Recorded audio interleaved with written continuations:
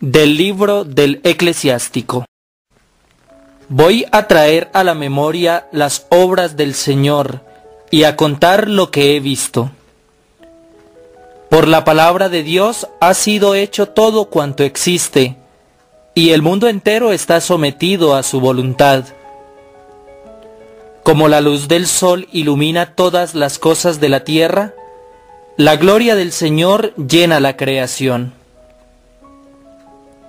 ¿No les concedió a sus ángeles contar todas esas maravillas que el Señor poderoso estableció firmemente como una prueba manifiesta de su gloria? El Señor penetra hasta el fondo de los abismos y de los corazones y conoce todos sus secretos, porque Él posee toda la ciencia y conoce el movimiento de los astros descubre lo pasado, anuncia lo futuro y revela los más recónditos misterios. Ningún pensamiento se le oculta, ninguna cosa se le escapa. Aquel que existe antes que el tiempo y para todo tiempo, dio esplendor y grandeza a las obras de su sabiduría. Nada se le puede añadir, nada se le puede quitar y no necesita consejero. Qué preciosas son las obras del Señor, y eso que apenas una chispa es lo que vemos.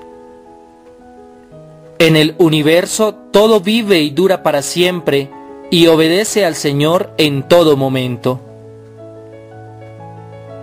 Todas las cosas difieren entre sí, y sin embargo se complementan. Nada de lo que ha hecho el Señor es inútil. Cada una de ellas afirma la excelencia de la otra. ¿Quién se cansará de contemplar la gloria del Señor?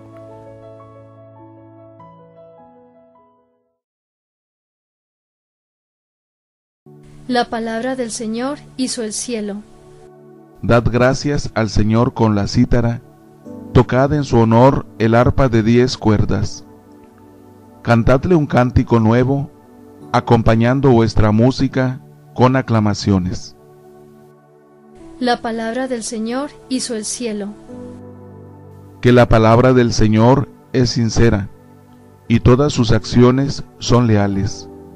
Él ama la justicia y el derecho, y su misericordia llena la tierra. La palabra del Señor hizo el cielo. La palabra del Señor hizo el cielo. El aliento de su boca sus ejércitos. Encierra en un odre las aguas marinas.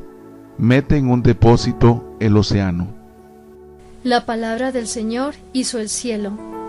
Tema al Señor la tierra entera. Tiemblen ante Él los habitantes del orbe.